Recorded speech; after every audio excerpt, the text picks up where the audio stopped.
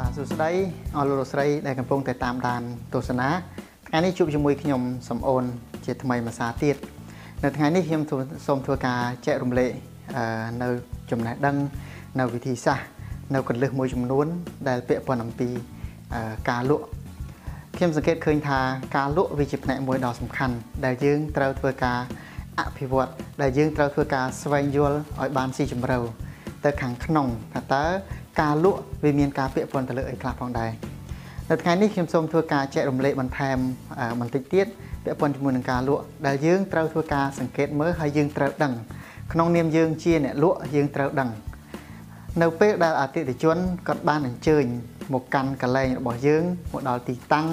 មកដល់ការិយាល័យមកដល់ក្រុមហ៊ុនរបស់យើងហើយនេះ មានន័យថាគាត់បានធ្វើការសម្រេចចិត្តពីផ្ទះ50%រួចហើយ មានន័យថាខាងក្នុងខ្លួននៅក្នុងអារម្មណ៍របស់គាត់ហ្នឹងគឺគាត់បានសម្រេចចិត្តនៅក្នុងការទិញផលិតផលហ្នឹង50%រួចហើយអញ្ចឹងដល់សល់50%ទៀតគឺ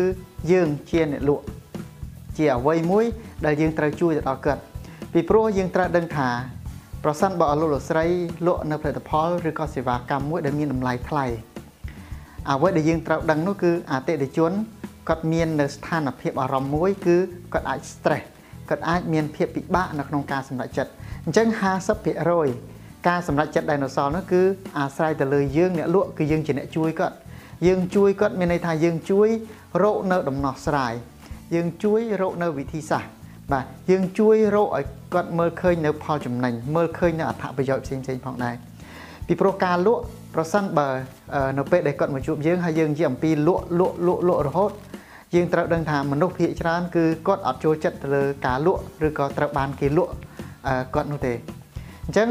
អតិថិជនគាត់ត្រូវការនៅការប្រឹក្សាយោបល់ត្រូវការនៅការពិភាក្សាយោបល់ត្រូវការអ្នកដែលអាចជួយដោះស្រាយវិបត្តិត្រូវការអ្នកដែលអាចជួយដោះស្រាយបញ្ហា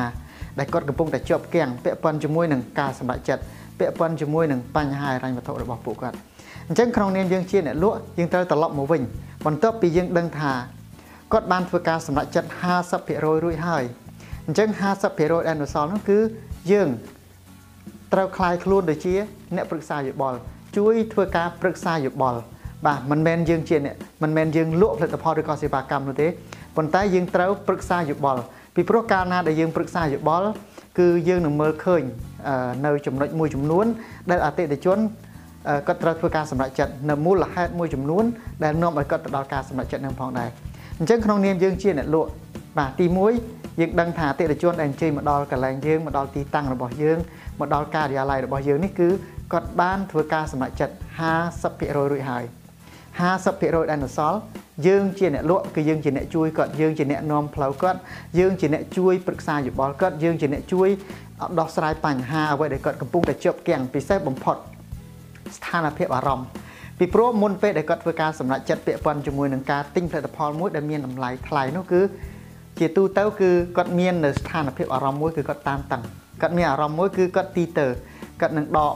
បាទគាត់នឹងចង់មានអារម្មណ៍មួយគឺគាត់ទិញផងហើយគាត់មានអារម្មណ៍មួយគាត់នឹងដកឃ្លាមកគិតផងទិញផងគិតផងទិញផងគិតផង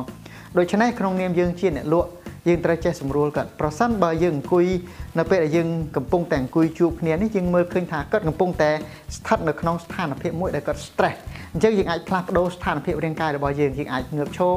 យើងអាចដើរបាទយើងអាចងាកឆ្វេងងាកស្ដាំបន្តិចដើម្បីឲ្យគាត់មានការផ្លាស់ប្ដូរនៅស្ថានភាពរាងកាយដែលអាចធ្វើឲ្យស្ថានភាពអារម្មណ៍របស់គាត់មានការផ្លាស់ប្ដូរធ្វើឲ្យអាស្ថានភាពដែលគាត់កំពុងតែពិបាកចិត្តគាត់កំពុងតែមន្ទិលគាត់កំពុងតែសង្ស័យនោះគាត់អាចមានស្ថានភាពអារម្មណ៍មួយធូរស្បើយពីព្រោះ រាងកាយរបស់យើងនេះគឺវាបានជួយទៅដល់ស្ថានភាពអារម្មណ៍មានន័យថាយើងស្ថិតនៅក្នុងអារម្មណ៍របៀបម៉េចមានន័យថារាងកាយរបស់យើងគឺបែបនឹងដូចគ្នាអញ្ចឹងបើយើងចង់ផ្លាស់ប្ដូរអារម្មណ៍តើតែយើងផ្លាស់ប្ដូរស្ថានភាពនៃរាងកាយយើងចង់ផ្លាស់ប្ដូរស្ថានភាពអារម្មណ៍តើតែយើងផ្លាស់ប្ដូរស្ថានភាពរាងកាយរបស់យើងយើងអាចងើបឈរបាទយើងអាចនាំគាត់ទៅមើលផលិតផលអាចនាំគាត់ទៅមើលទីតាំងអាចនាំគាត់ទៅមើលកន្លែងដែលយើងកំពុងតែផ្ទុកហ្នឹងដើម្បីឲ្យគាត់បានឃើញ មួយទៀតយើងត្រូវដឹងថានៅពេលដែលគាត់ធ្វើការសម្រេចចិត្តមុនពេលដែលគាត់ធ្វើការសម្រេចចិត្តគឺគាត់ត្រូវការកាន់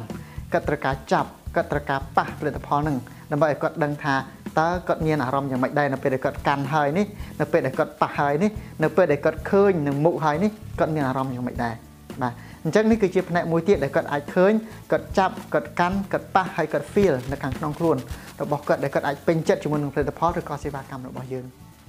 អរគុណច្រើនសម្រាប់ការចូលរួមទស្សនាប្រសិនបើអរលោកស្រីមើលឃើញថានៅក្នុងវីដេអូមួយនេះអាចជួយផ្ដល់នៅចំណេះដឹងអាចមានសារៈប្រយោជន៍ទៅដល់ការសិក្សារៀនសូត្រនោះអរលោកស្រីអាចជួយធ្វើការ share ទៅកាន់មិត្តភ័ក្តិទៅកាន់បងប្អូនបន្ថែមទៀតសម្រាប់ថ្ងៃនេះខ្ញុំសូមអូនអរគុណច្រើនសម្រាប់ការចូលរួមទស្សនាពីដើមទីរហូតដល់ចប់ជួបគ្នានៅក្នុងវីដេអូឃ្លីបបន្តនៅពេលខាងក្រោយទៀតផងដែរបាទសម្រាប់ថ្ងៃនេះអរគុណច្រើនបាទជម្រាបលា